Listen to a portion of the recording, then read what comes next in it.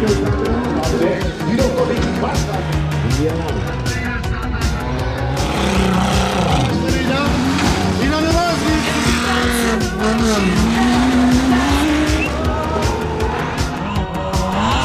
Thank you.